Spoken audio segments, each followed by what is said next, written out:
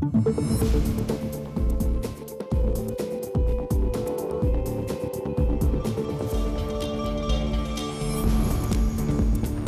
Et bienvenue sur TV7 pour cette édition spéciale avec le nouveau maire euh, de Bordeaux, Nicolas Florian, qui est avec nous pour un peu moins d'une heure, avec lequel nous allons euh, faire mieux connaissance et parler bien évidemment des, grands dossiers qu'il a l'intention de, de, traiter prioritairement dans les mois qui viennent. Et puis euh, avec moi également sur ce plateau, Jefferson Desports de Sud-Ouest, bonjour, et Xavier Sota de Sud-Ouest également.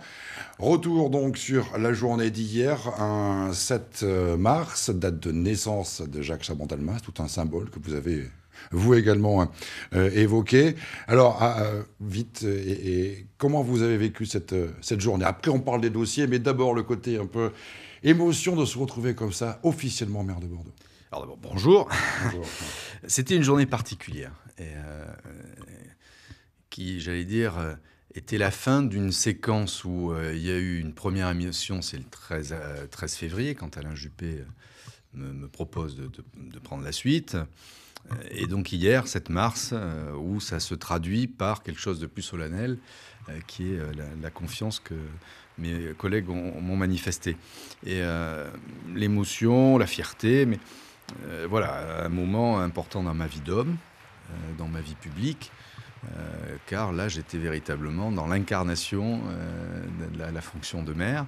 Et moi, ce qui, m'a le plus touché, je ne le cache pas, c'est euh, de voir les sourires de mes collègues et une ambiance plutôt conviviale et de gens qui sont prêts à s'engager avec moi. Ils me l'ont manifesté quant à l'unanimité, ils ont dit euh, que Alain Juppé faisait un bon choix en me confiant les, clés de la maison. Euh, et ça s'est vu sur leur visage, et c'est ce qui, ce qui m'a touché, comme dans le public, les nombreuses personnes qui étaient là. Se retrouver à, ce, à ce poste-là, vous y pensiez tous les jours en vous rasant? Non, du tout. Du tout. Je ne cache pas que je m'intéressais à ce que pouvait être un jour, ou pourrait être un jour, une fonction de maire. Mais bon, euh, voilà, c'est un événement un petit peu inattendu, précipité, tant pour Alain Juppé que, que pour moi et pour la ville et, ceux qui font la ville. Alors, il y a aussi les Bordelaises et, les Bordelais qui ont été accueillis dans la cour de l'hôtel de ville ce, jeudi soir. C'est la seconde séquence. Un moment émouvant. Euh, émotion. Alors, justement, nous, euh, pendant ce temps à TV7, le jour de votre élection, nous sommes allés en ville pour demander justement aux Bordelaises et aux Bordelais s'ils connaissaient le nom du nouveau maire de Bordeaux. Regardez, écoutez. Il s'appelle Nicolas. Tu connais Son nom de famille, j'en sais rien. Je ne sais pas non plus. Vous savez pas quel est le numéro de Bordeaux aujourd'hui? Non, non, je ne sais pas du tout. On nous l'a pas bien présenté. Pas encore. On n'a pas encore fait le deuil de, Monsieur Juppé, du coup, euh, on s'intéresse pas au suivant. Vous savez qui est le nouveau maire de Bordeaux aujourd'hui? Pas du tout, ça m'intéresse pas des masses. Non, je l'ai appris ce matin, mais euh, c'est quelqu'un de son équipe. Hein. C'était son conseiller aux finances, je crois. Ça, j'ai pas trop d'avis sur la question, je vous avoue.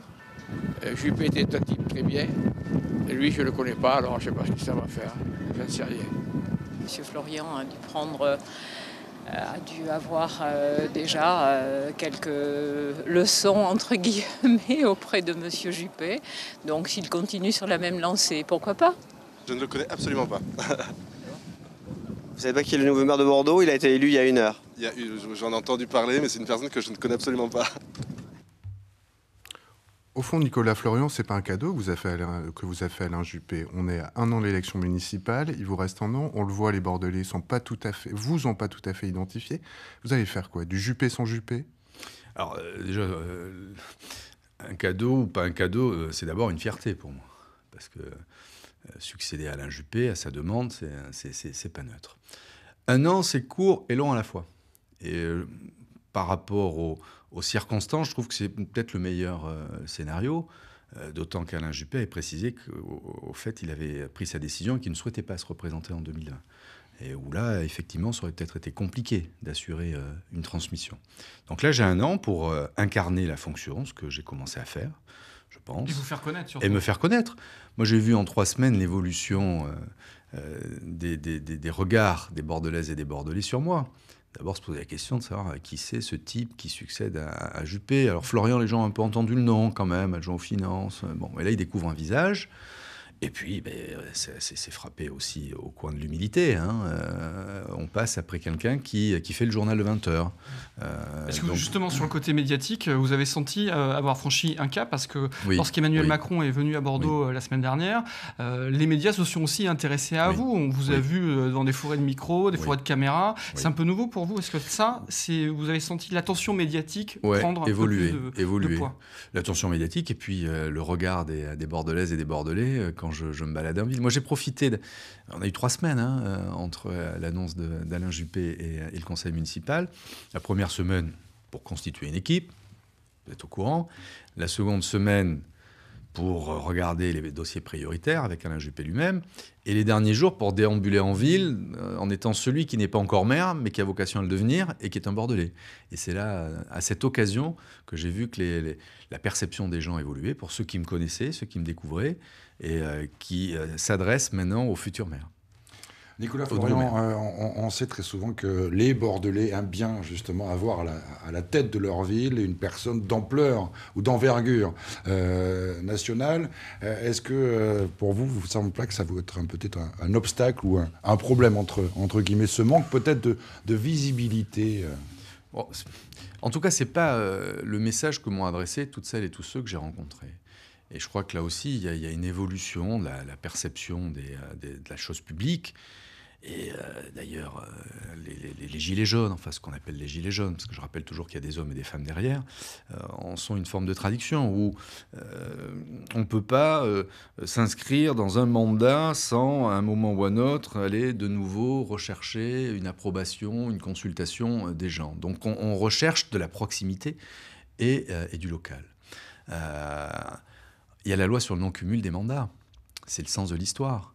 Euh, où aujourd'hui, on a bien remarqué qu'il y avait ceux qui avaient vocation à s'occuper d'une collectivité locale et ceux qui sont sur des destinées nationales. Moi, je revendique mon ancrage local, je m'intéresse à la chose publique, mais je revendique mon ancrage local et je pense qu'il y a une, attente aussi. Hein, Donc, Nicolas Florian, votre, votre politique à Bordeaux, on va y venir, on va rentrer dans les dossiers de fond qui vous attendent et ils sont nombreux, avec Xavier Sautin notamment, mais c'est ça, l'idée c'est un Bordelais aux commandes Bien sûr. de Bordeaux. Bien sûr. Alors justement, Nicolas. en plus, j'ai un mentor quand même qui a, qui a, su me donner des horizons, une direction, des conseils. Mais là, il y a tout à réécrire maintenant. C'est un nouveau chapitre qui s'ouvre. c'est vrai. Justement, vous parlez de votre mentor qui, était, euh, qui incarnait une certaine idée de l'autorité. Vous, on vous présente comme un gentil. L'opposition comprise hier est très bienveillante à votre égard. Alors, ils disent pas gentil, ils disent courtois. Courtois. Est-ce que vous n'êtes pas trop gentil? Parce que la politique, c'est quand même un sport de combat. C'est une question de, de, période. Dans l'action même de la fonction, je revendique euh, cette bienveillance que je peux avoir par rapport aux, êtres humains. Après, il y aura la séquence électorale, où peut-être que là, je serai un peu moins gentil. Si toutefois on, cherche à me faire sortir de ma personnalité première, je m'adapterai. Encore une fois, on va bien sûr aborder le dossier, mais justement par rapport à, cet aspect-là, est-ce que ça a été euh, compliqué pour vous en, interne, cette, euh, cette séquence? On, dit beaucoup que tout le monde était unanime autour de votre nom. Bon, est-ce qu'il n'y a, pas certains, certaines personnes euh, ou certaines volontés qui se sont affichées à ce moment-là? Ça a été difficile de, en interne à gérer ce moment ou... Ça a été votre baptême du feu, au fond, parce qu'il a fallu arbitrer. Il a fallu arbitrer. Et, moi, j'ai pas senti de difficulté s'agissant de mon leadership parce que j'avais cette force, mais qui me ah, Parce que surtout, Alain Juppé a dit que c'était vous. Oui, oui, oui, mais enfin, en précisant bien que c'était pas le fait monarchique. Et que non, tout autre. Une fois que Juppé dit que ce sera Nicolas Florian, je pense qu'autour, même si ça a un peu tiraillé. aurait pu exprimer.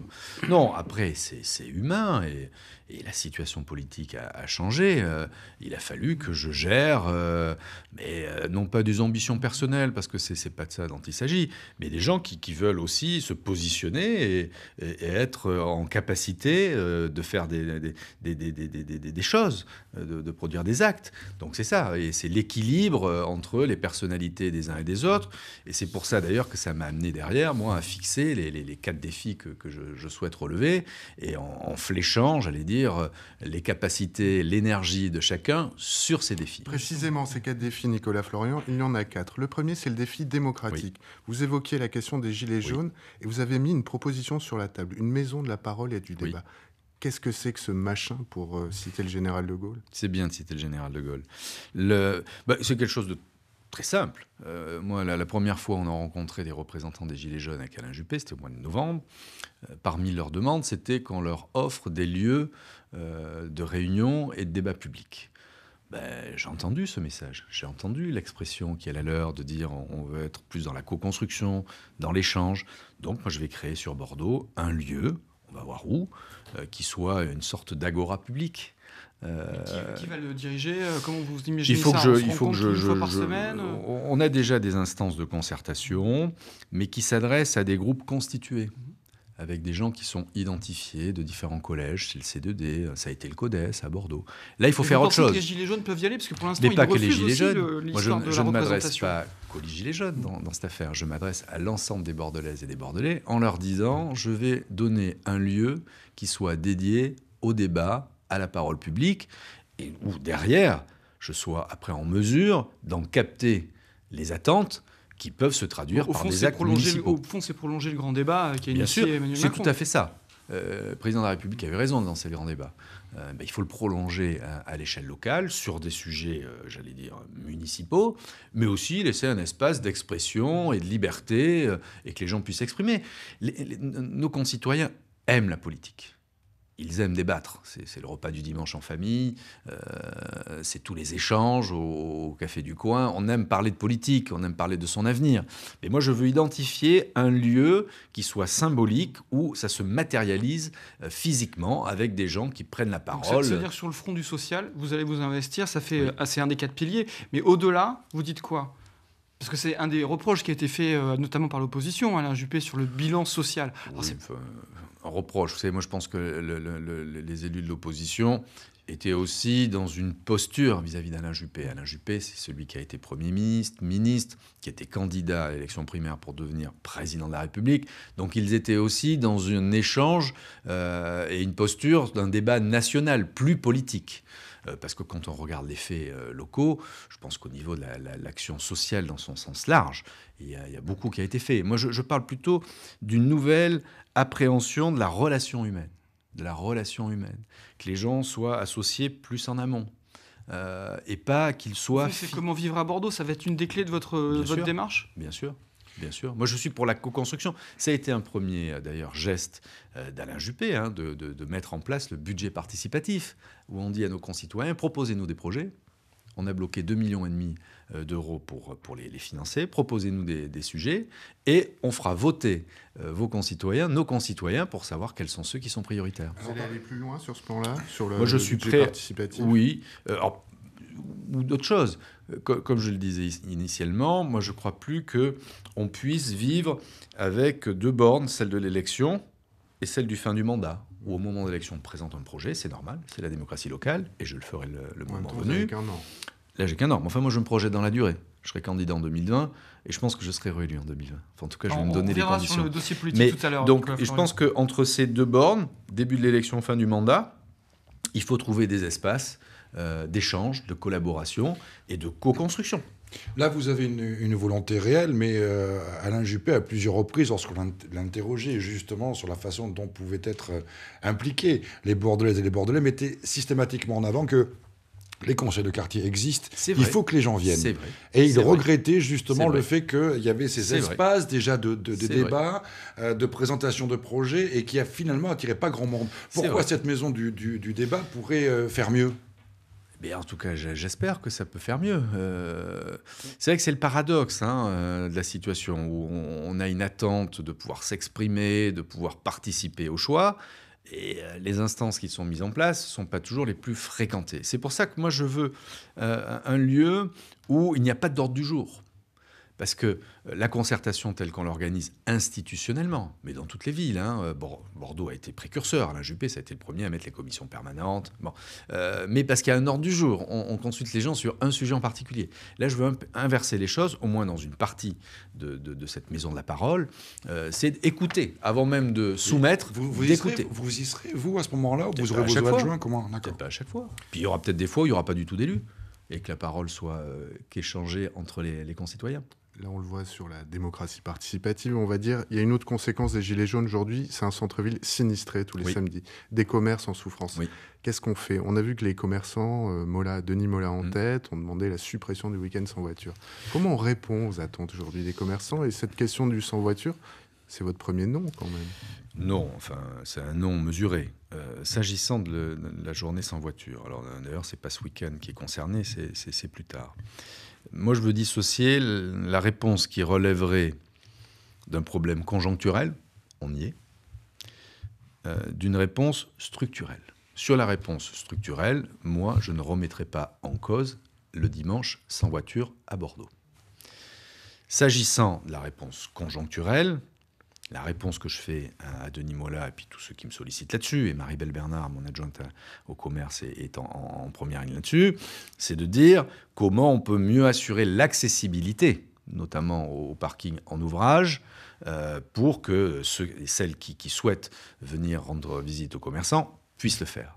Je proposerai aussi, d'ailleurs, de pouvoir ouvrir, dès lors que l'espace est disponible, des sites de stationnement où les gens pourraient venir. Je pense notamment à la place euh, des, Quinconces, qui est quand même la plus grande place d'Europe, où on peut organiser du stationnement euh, et que euh, les gens puissent venir, venir stationner. Mais j'ai aussi la petite musique d'autres commerçants, peut-être pas nécessairement les mêmes, qui me disent, au moment de la journée sans voiture, c'est là où on a le plus de monde. Parce que ce n'est pas la même clientèle. Il y a des gens qui peuvent déambuler. Euh, qui se sentent en sécurité sur l'espace public. Donc il faut que je mesure ces deux sujets, on a quelques jours pour le faire, trouver des solutions qui permettent l'accessibilité en ville et sur le lieu de, stationnement, et ouvrir des espaces pour le stationnement euh, en, plein air. S'agissant de, euh, ce qu'on peut faire pour les commerçants, d'abord rappeler, je l'ai dit hier, moi je sans prétention, mais je lance un message aux, Gilets jaunes et à tous ces hommes, toutes ces femmes qui, défilent le samedi. Attention à ce que la souffrance qu'ils expriment ne provoque pas une nouvelle souffrance, parce que euh, quand on parle de commerce, c'est pas, c'est pas un, euh, Nicolas Florian, on est mais oui, mais moi je, 16, moi, je les messages se répètent et sont sans je suis, un, je suis un optimisme de, nature et je, ne lâcherai jamais la, la, la, la volonté là-dessus, et euh, quitte à faire de la pédagogie et leur dire attention, vous allez mettre en souffrance vous avez déjà mis en souffrance. Parce que quand on parle de commerce, c'est pas incarné, mais il y a des hommes et des femmes là aussi derrière. Des, employés, des, employés. Il va y avoir des, licenciements. Parmi ceux euh, qui sont concernés, il y a sûrement euh, certains qui ont pu être gilets jaunes à un moment ou un autre, ou qui pourraient l'être. Et moi, ce que je leur propose, c'est de trouver des solutions où ils peuvent se rassembler, qu'ils soient visibles, s'exprimer sans pénaliser euh, le centre-ville. Un mot, sur ça, Nicolas Florian. quand le Premier ministre est venu à Bordeaux, il a annoncé une aide pour les villes les plus touchées, 3 millions d'euros, pratiquement 10% pour Bordeaux. Est-ce que vous avez commencé à toucher cet argent autour de 300 000 euros pour faire des opérations euh, de communication notamment? Ça, va vite arriver. Et je vois le préfet dans, quelques jours pour ça. Euh, en parallèle, la région lundi a voté un dispositif de 2 millions d'euros. Bordeaux Métropole l'a fait aussi. Et euh, c'est la chambre. C'est une enveloppe de combien qui va arriver pour Bordeaux? Je ne peux pas le mesurer parce que la région, c'est 2 millions, mais à l'échelle de la, région, c'est pas que Bordeaux. 700 000, euh, c'est l'agglomération. Bon, ce qui va être important, c'est plutôt les critères qui ont été établis pour être éligible à cette aide. Et quand est-ce qu'ils vont l'apercevoir cette là, aide? C'est là, où, là où euh, le, volontarisme que, je, souhaite euh, déployer aura tout son sens, où moi, je vais faire le, pied de grue de l'État, la région. il sert à quoi? C'est pour des opérations de communication ou c'est de l'indemnisation? Il y a les deux l'indemnisation, du, soutien de trésorerie et puis de l'aide à, la créativité et à l'innovation. Vous avez déjà des demandes de commerçants euh, sur, votre, votre, bureau euh Bien sûr, bien sûr, bien sûr, bien sûr, Et puis par ailleurs, des demandes aussi sur les critères qui permettront euh, d'être éligibles. Est-ce que c'est X% de perte de chiffre d'affaires? Est-ce que c'est un zonage bien déterminé? On a déjà des clés. il y a de l'argent hein. qui arrive. Il y a de l'argent qui arrive. Euh, pour revenir sur euh, votre... Par ailleurs, excusez-moi, euh, moi je suis prêt à, prolonger l'exonération notamment d'un certain nombre de taxes de terrasses, de façades, d'enseignes pour les, pour les commerçants dans cette, dans cette période. Alors, les Gilets jaunes évoquent le, RIC. vous, vous évoquez la, les consultations d'initiatives citoyennes pour justement ce, défi démocratique. concrètement, comment ça peut se passer? Est-ce que ça peut être mis en place rapidement? Sur quel type de dossier Mais il existe déjà un dispositif hein, euh, qui date de la loi Vaillante de 2002, euh, où on peut soumettre euh, un référendum local à l'approbation ou la désapprobation de la, population tel ou tel sujet. donc ça, moi, je vais l'amplifier. Je ne sais pas si d'ici la fin de l'année, sur la fin de ce mandat, il y aura un sujet sur lequel je serai en, attente d'avoir une approbation ou une désapprobation de la, population. Il y en aura peut-être, on verra. Mais sur la durée, j'utiliserai après 2020 euh, cet outil pour euh, ben, susciter. Euh, parce que, vous savez, on dit, oui, le maire, il est réélu avec un programme, donc les gens ont voté pour un programme. Enfin, chacun y puise ce dont il est le plus intéressé dans un programme et on n'est pas toujours au fait de la mémoire euh, du programme entier en début d'élection et qui doit être appliqué pendant le mandat. Donc moi, je mettrai euh, au débat public, euh, au référendum local, à la consultation locale, un certain nombre de sujets. Et à l'inverse, et c'est aussi pour ça que je parle de co-construction, il faut qu'on fixe un périmètre de sujets qui sont portés par la population, qui sont portés par la population. Alors est-ce que c'est le droit à pétition, combien euh, Est-ce que c'est euh, euh, une, expression, j'allais visible, qui en fait nous saisissent d'un sujet qui les importe et qu'on soumettrait à la consultation de l'ensemble des concitoyens. Mais il faut que ça soit des, sujets majeurs. Hein. C'est pas, euh, c'est pas euh, parce qu'aujourd'hui on est très performant sur la, démocratie euh, de proximité quand il s'agit de changer un sens de circulation, d'établir un, tracé. Et par ailleurs, il y a tout ce qui relève du réglementaire. Hein. C'est les enquêtes publiques. bon, donc ça, ça, existe. Là, il s'agit de, il s'agirait de sujets de portée municipale qui pourraient être proposés par les acteurs de la vie municipale et qui serait soumis à l'ensemble des, des Bordelaises et des Bordelais. Parmi les défis que vous avez dressés hier, il y a, les deux suivants sont le social et l'environnement. Ce C'est pas exactement les marqueurs des républicains, votre famille politique. Mais détrompez-vous, enfin, peut-être pas aujourd'hui, mais euh, les républicains, c'est le, plus de gaullistes. Moi, je suis un gaulliste. Et euh, j'allais dire la, troisième voie, la participation. Euh, Général de Gaulle, c'est le droit de vote des femmes, c'est la Sécu. Euh, bon, c'est des grands projets, c'est l'industrialisation. Bon, moi, je me reconnais en ça. Hein, c'est mes convictions profondes. Euh, le social, il appartient pas à une étiquette. Euh, et on a la chance, quand on est acteur local, d'avoir des leviers et une boîte à outils là-dessus.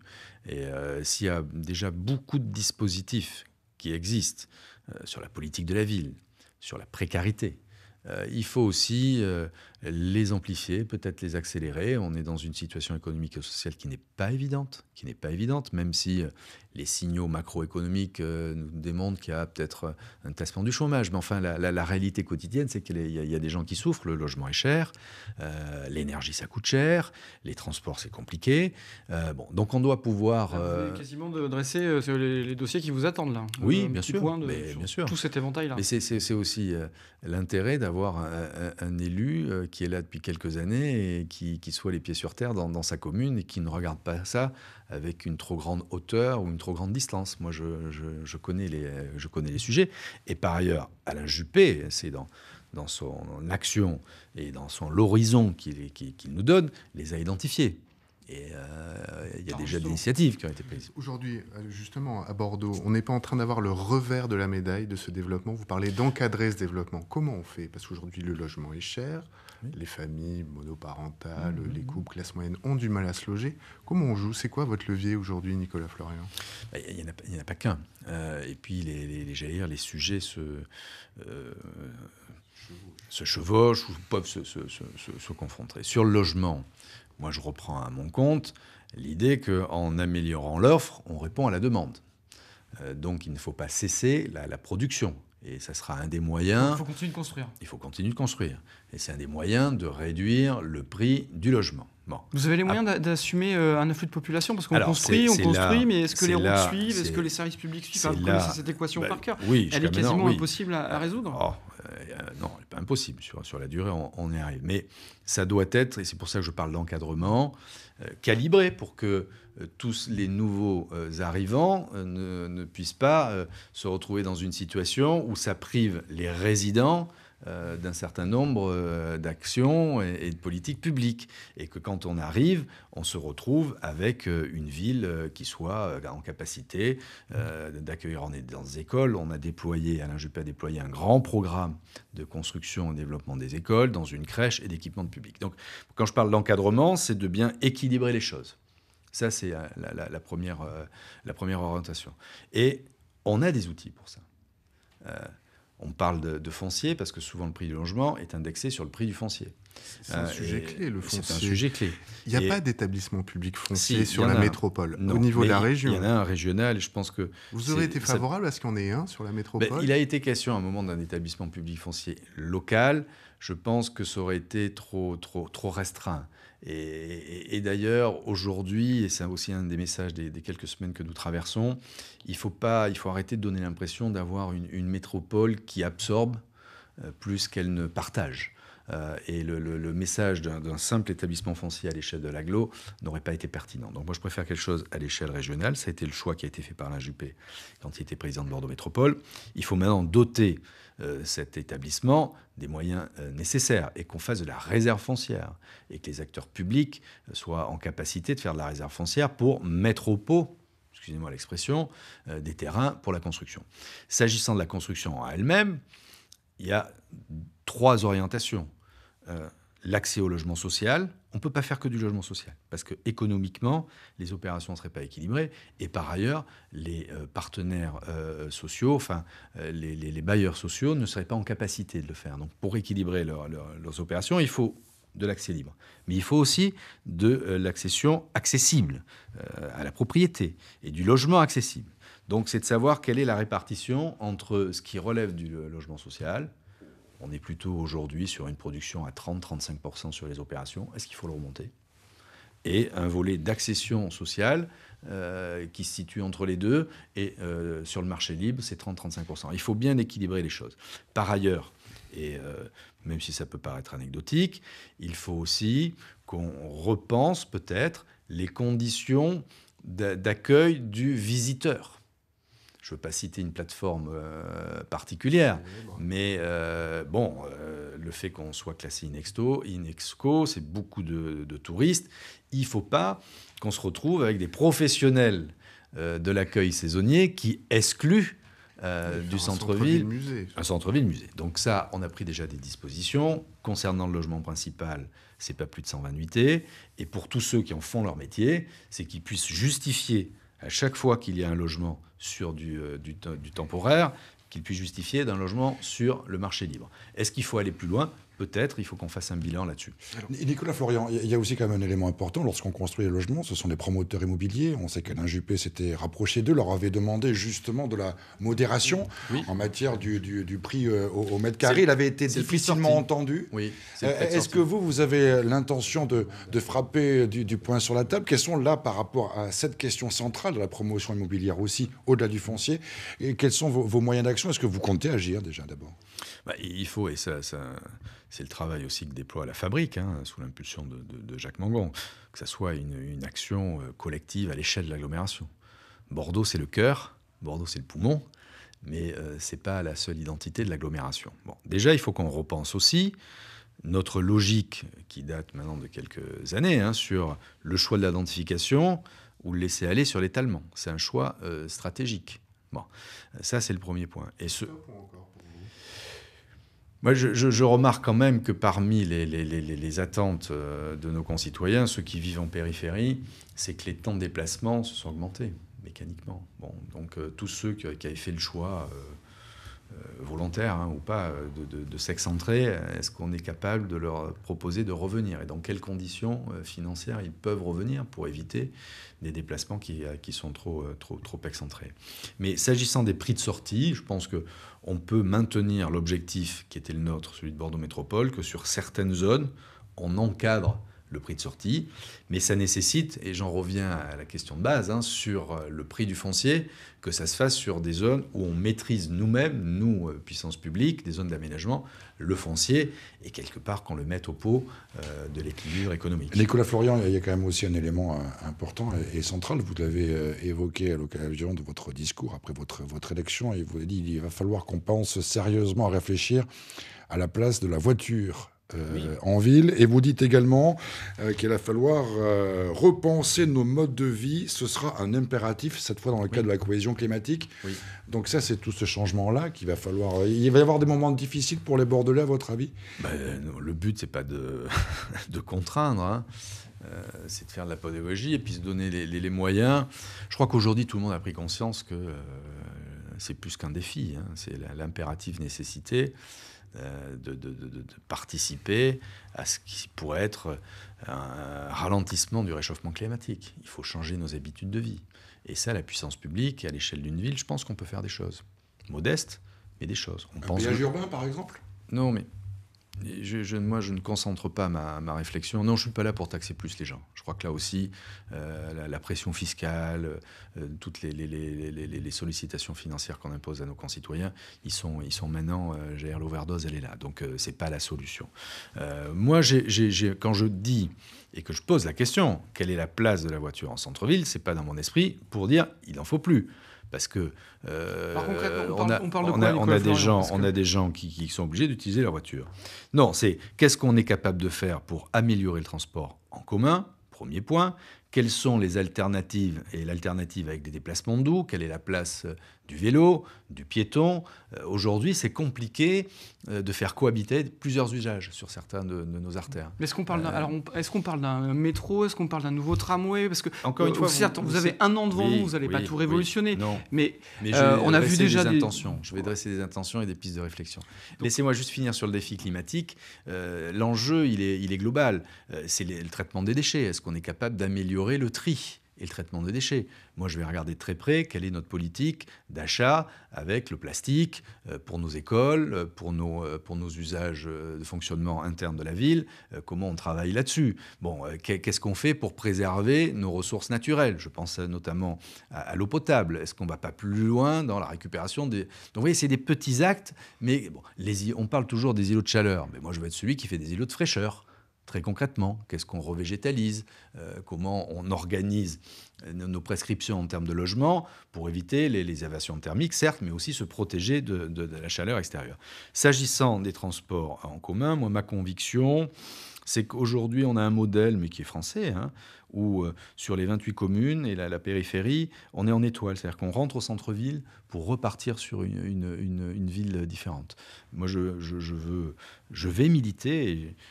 J'y mettrai toute mon énergie pour qu'on s'intéresse aussi euh, à, la relation périphérique entre les lieux de vie, entre boulevard et rocade. Et ce qui est capable aujourd'hui de proposer euh, la région. Ça, veut dire quoi? Parce qu'on a entendu une expression qui dit euh, requalifier les boulevards. Je pense que pour le commun des différent. Je pense que pour le commun des mortels, ça ne veut pas dire grand-chose. Ah ben requalifier les boulevards, si. Et c'est c'est l'enjeu de nos, mois qui viennent et puis des 10 ou 15 ans, c'est qu'est-ce qu'on fait sur les boulevards? Il y a le pont euh, Simone Veil qui va, qui va être lancé, qui est lancé. Ça doit être le point de départ et le cliquet de une réflexion sur l'ensemble de, cette zone urbaine. Je parle de Zanut Berne.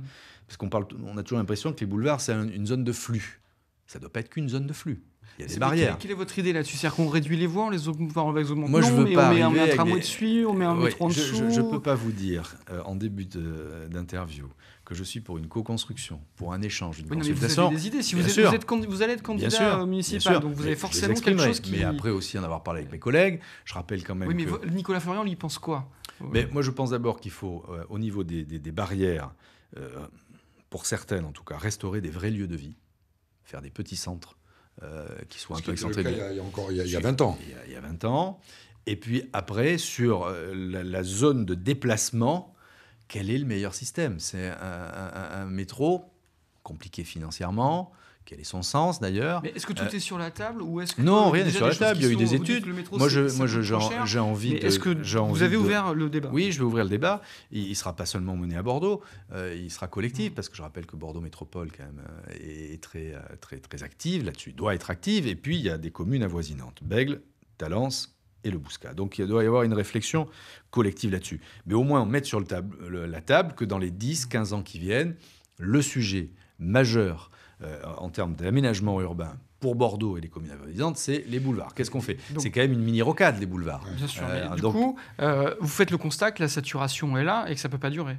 Et oui. que, et que Nicolas, Florian, quand vous dites une solution à 10 ou 15 ans, oui. c'est la durée moyenne. C'est compliqué, ça ne parle pas aux gens qui se retrouvent tous les jours dans les embouteillages quand même. C'est là où il faut qu'on fasse aussi de la pédagogie. Quand Alain Juppé décide de faire un, un tramway en 95, on, l'inaugure près de dix ans après, et c'est normal. C'est des chantiers de longue haleine, mais en tout cas, il y a une direction à donner. En tout cas, il y a une volonté politique, et moi j'aurais la volonté politique de demander aux, différents partenaires, que ce soit Bordeaux Métropole, les autres communes, qu'on ait une réflexion là-dessus. Vous qui connaissez bien la vie, que vous vous présentez comme ça, oui. et, c'est vrai, quelle est votre préférence? Qu'est-ce qui vous, intuitivement, qu'est-ce qui vous dit bah, c'est peut-être ça où il faut aller? Moi je pense qu'il faut un, transport en commun sur, sur les boulevards peut-être pas de la même façon partout, avec des couloirs ou centrales, euh, mais il faut un transport. On parle d'un bus, on parle d'un tramway, vous savez pas encore. Pas... Je sais pas. Je, je, peux.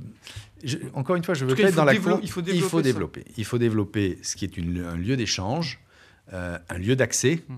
Et un lieu de vie. Et concrètement, Parce qu'il y a les trois sujets. rentre, euh, Nicolas Florian, dans les sujets politiques, est-ce que dans votre programme de candidat, vous aurez une proposition claire et nette avec voilà, un horizon qui sera celui-ci, 10 ou 15 ans en tout et cas. Et que ça démarre dès 2020.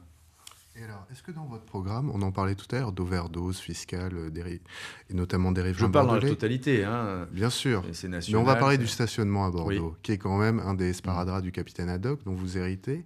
Qu'est-ce qu'on fait aujourd'hui? Parce qu'il y a des quartiers qui paient et d'autres qui ne paient pas. est-ce qu'on va, est qu'on va, lisser ça pour tout le monde ou euh, le stationnement payant va être supprimé un peu partout?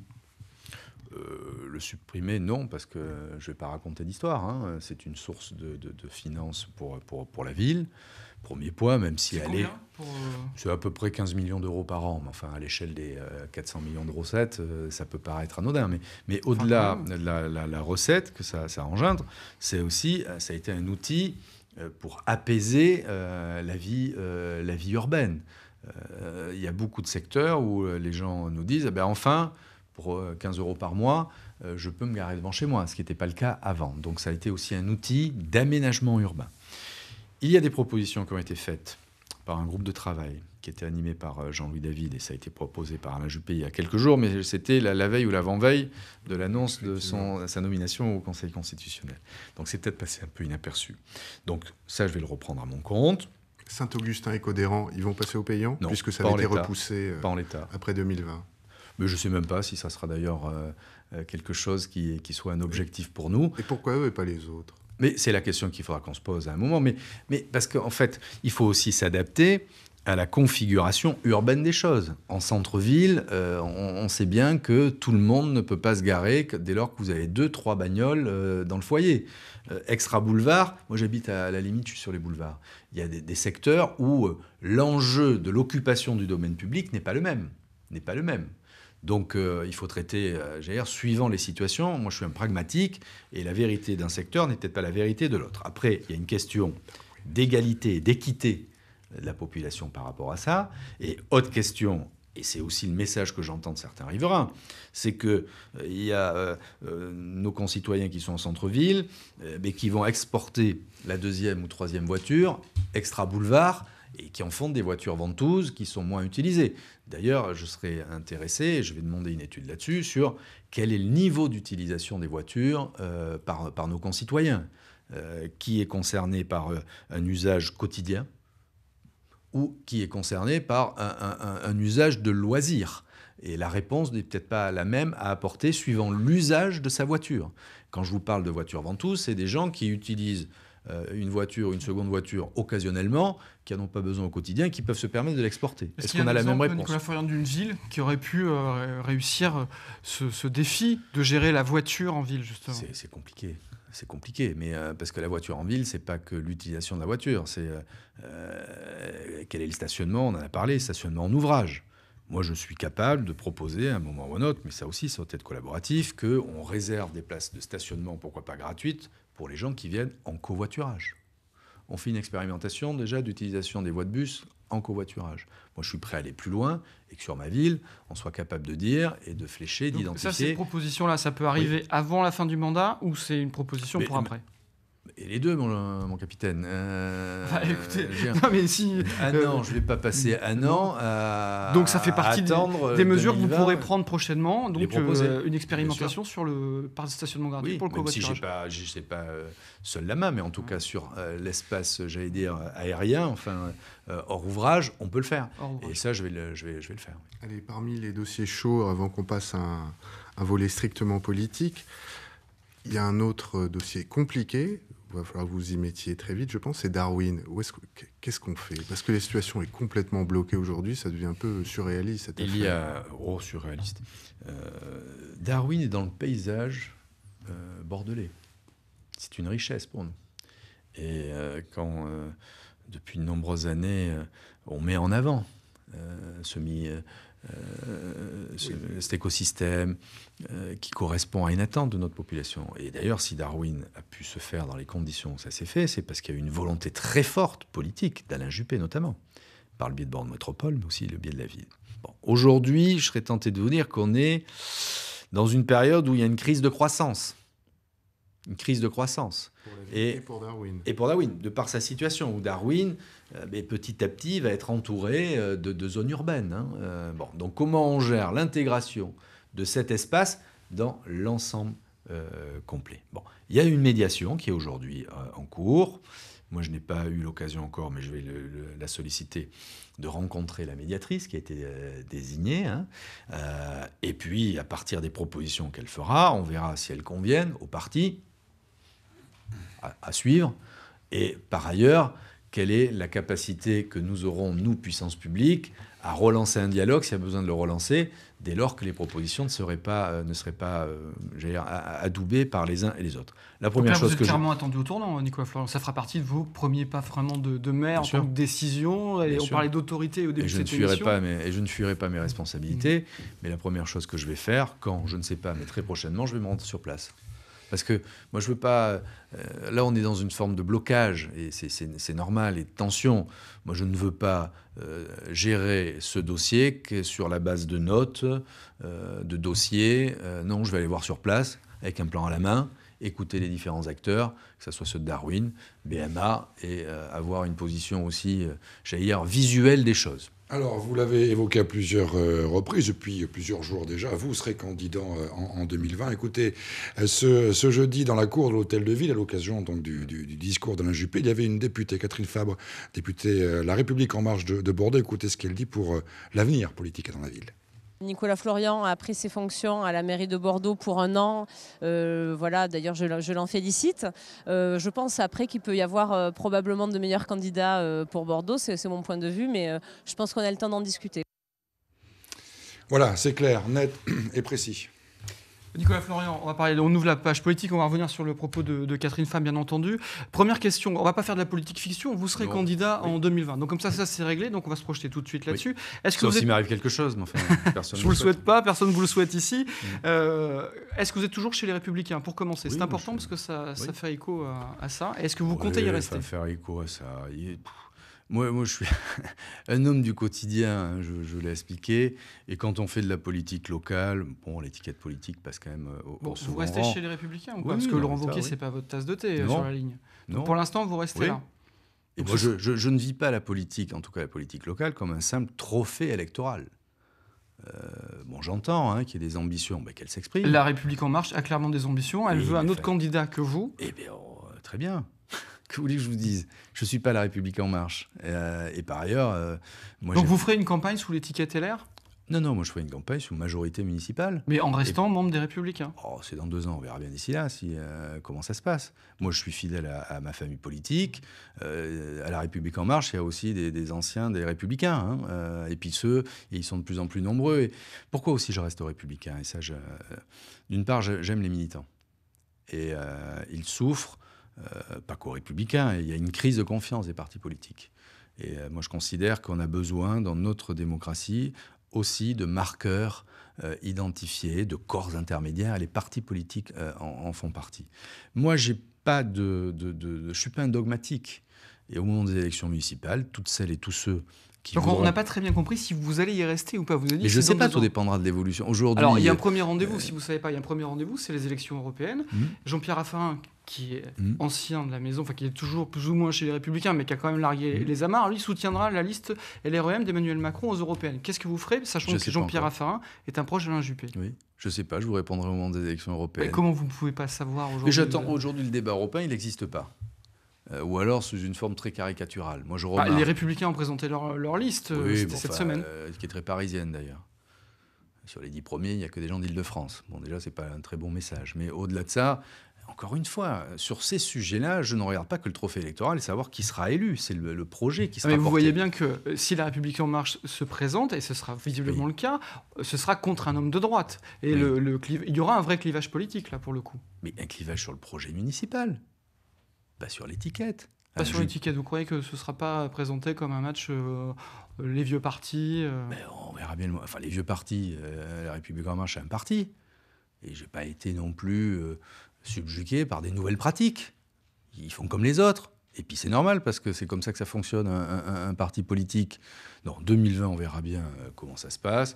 Moi, je ferai une liste d'ouverture comme a toujours fait Alain Juppé. Alain Juppé, il a été président du RPR, euh, membre des, euh, président de l'UMP, membre des, des, LR, et il avait sur sa liste des gens qui viennent du centre et puis tous ceux qui sont sans étiquette.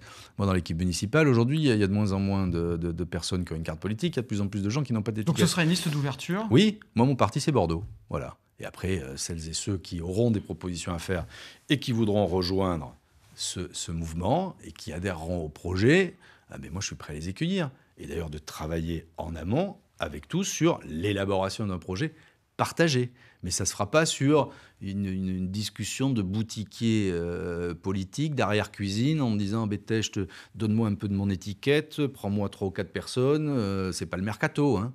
Moi, je suis sur le projet et les idées dans cette triangulation politique qui forcément rentrera en compte dans les municipales, votre premier adjoint est Modem. Oui. Les Modem sont allés avec La République En Marche. Oui. Au niveau national. Oui. Au niveau local, ça va faire une équation un peu singulière. Mais on verra le moment venu. Puis pareil, moi je rappelle que en 2012, au moment de l'élection présidentielle, dans l'équipe qui était conduite par Alain Juppé à l'époque, tout le monde n'a pas voté le même candidat et en 2017. Moi, je fais vraiment la part dans, des dans le cas hein. présent, pour revenir sur ce que disait Xavier mm. euh, votre premier adjoint qui est au Modem, c'est un peu baroque parce que s'il y a une liste LREM qui se monte, et ça, encore une fois, ça a l'air d'être le cas, ce sont quand même ses alliés. Il va se retrouver dans une majorité avec des alliés. On verra comment ça se passe d'ici là. Moi, mon job, c'est d'être maire de m'occuper des Bordelaises et des Bordelais avant de savoir quelles sont les spéculations ou les revendications de tel ou tel appareil politique. Moi, c'est pas mon sujet. Moi, si je reste dans un parti politique, c'est un choix un peu de cœur euh, par rapport aux militants et le rôle que peut avoir un parti politique. Mais je ne reste pas dans un parti politique. Euh, quand on construit l'école, qu'on construit une crèche euh, ou qu'on pense les boulevards, il n'y a pas une vision LR, une vision PS, une vision machin. bon, donc moi, encore une fois, mon sujet, c'est pas d'aller accrocher un trophée électoral sur le mur de la cheminée, hein, comme vous, certains. Vous l'avez dit, Nicolas Florent. Donc moi, mon job, c'est d'être maire et de présenter un projet le moment venu avec toutes celles et tous ceux qui s'y reconnaîtront. C'est ça, faire de la politique. Sinon, je réglerai déjà le problème euh, dans une arrière-cour ou dans un sous-sol de la ville, où on se répartirait les choses les uns les autres. Enfin, c'est pas ce que veulent nos, euh, concitoyens. Alors, vous l'avez dit, euh, Nicolas Sarkozy vous a appelé une fois votre élection. Qu'est-ce qu'il vous a dit? Mais Il m'a félicité tout simplement.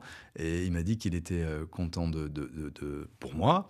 Et par ailleurs, Nicolas Sarkozy, euh, c'était aussi le sens de son message. Il dit, moi j'ai connu ça à, Neuilly en 83, où euh, voilà, le fait de devenir maire avant le suffrage. Et il m'a encouragé, d'une part, à prendre les décisions qu'il fallait. Il ne connaît pas la vie bordelaise, il connaît bien Alain Juppé. et puis me dire aussi qu'il voilà, il fallait que je me projette, et il a raison. Et Alain Juppé m'a dit la même chose. Et tous ceux qui m'ont appelé, j'ai eu beaucoup d'appels. Dans, ton appel aussi d'Edouard Philippe Oui, hier matin, qui m'a, enfin hier midi. Edouard, moi, c'est quelqu'un que je connais bien. Hein. On, était ensemble au moment de la primaire derrière Alain Juppé. Il, il, revendique cette paternité avec Alain Juppé, lui au niveau national, moi au niveau local. Et pareil, Edouard me faisait un petit clin d'œil hier en me rappelant que lui-même, au Havre, alors il avait eu un peu plus de temps entre euh, la démission d'Antoine Ruffnac et l'élection. Il a vu trois ans, me rappeler qu'il qu'il avait été maire dans les mêmes conditions. Moi, c'est avant tout un ami. C'est un soutien qui est important, ça, pour l'avenir Monsieur pas. Un soutien, en une marque d'amitié On marque d'amitié, personne. On, est copains, je vais pas. Euh, voilà. Hein, et je trouve qu'il fait bien son travail, par ailleurs. Donc, et moi, je me reconnais dans ce qu'il fait.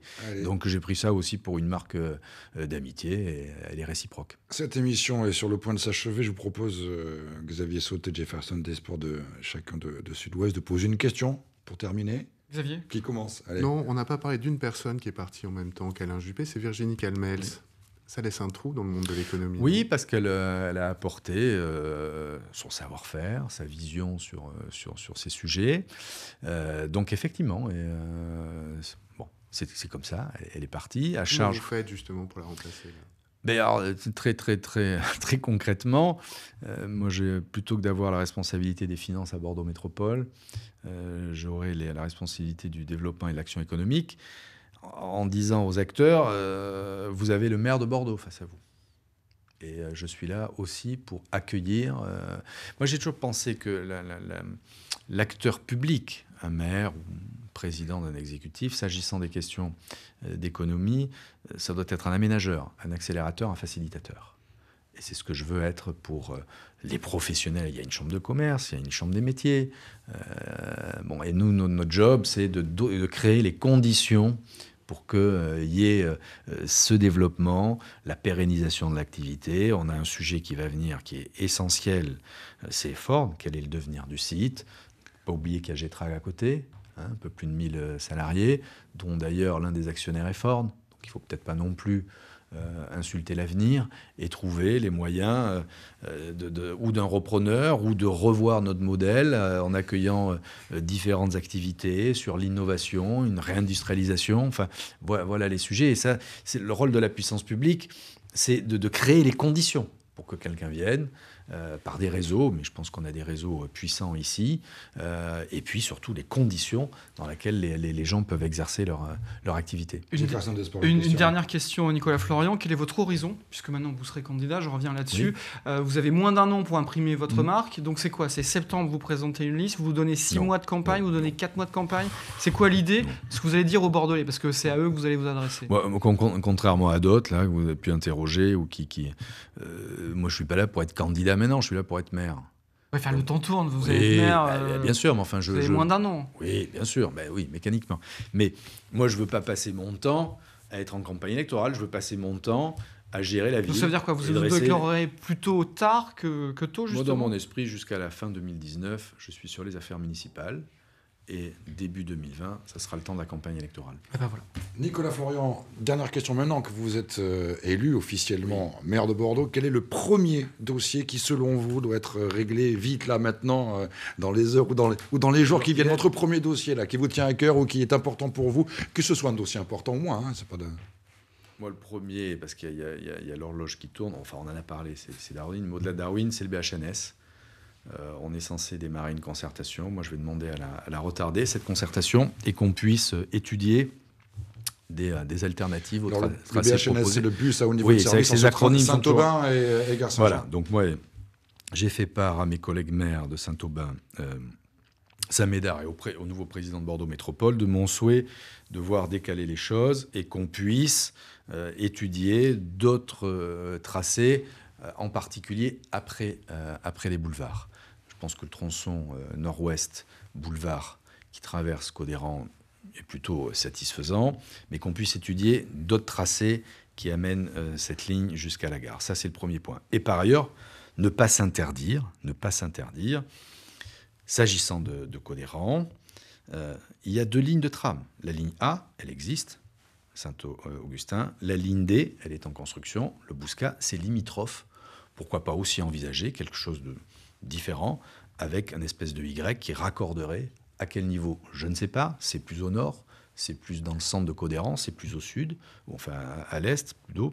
Euh, c'est deux lignes de tram, ça peut être aussi une option. Mais quoi qu'il en soit, moi je veux pouvoir étudier euh, d'autres, d'autres, d'autres tracés et euh, sans pénaliser les communes nord-ouest qui sont, qui sont partie prenante du projet, mais reprendre un petit peu de temps et remettre à plat les, différentes possibilités. En tout cas, merci beaucoup euh, Nicolas Florian euh, d'avoir euh, passé quasiment mm. une heure entière avec, avec nous. On aurait pu rester encore un peu, un peu plus de temps, tant les dossiers sont, sont importants. Merci beaucoup Jefferson Desports, merci, beaucoup Xavier Sota, et puis, et puis à bientôt. À bientôt.